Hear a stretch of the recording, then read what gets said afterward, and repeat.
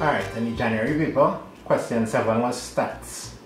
First thing they asked us to do is find um, the range and they give us some marks here obtained by what, 10 students.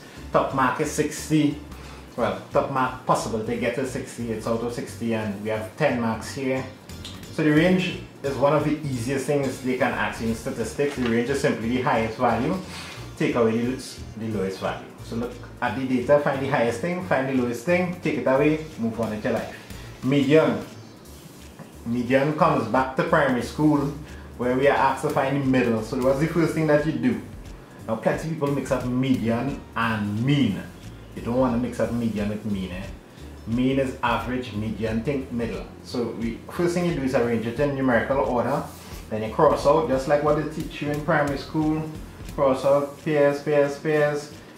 In this case we end up with 2 in the middle when something like that occurs. You know you need to add the two together and divide by 2.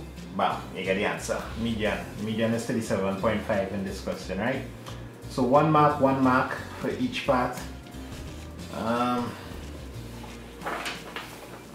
Alright, next up they asked us about what interquartile range.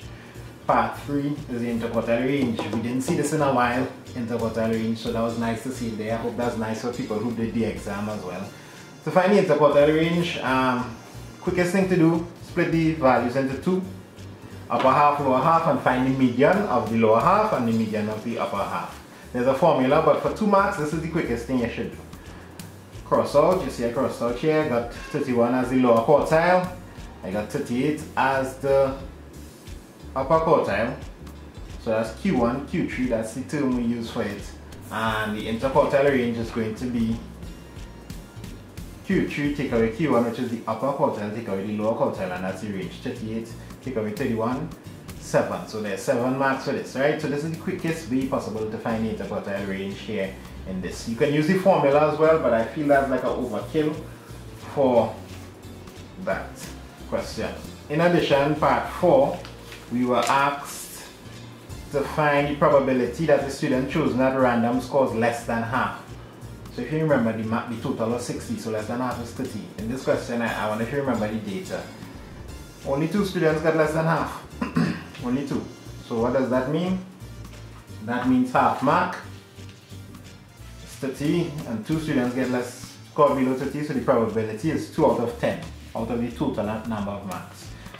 So it's the occurrence you want over the total possible occurrences 0.2 or 20%. You can express probability in a, a, a three different ways, right? So our next two marks there, next two marks there. Finally, let's go to the last part of the question.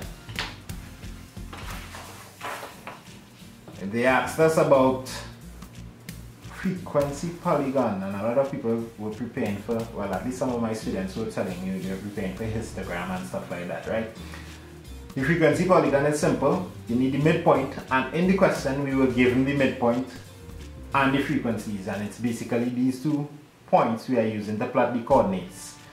Here's a scale. The scale was given to us as well. So it was simple and this question was six marks. This is half of the whole of number seven in terms of marks.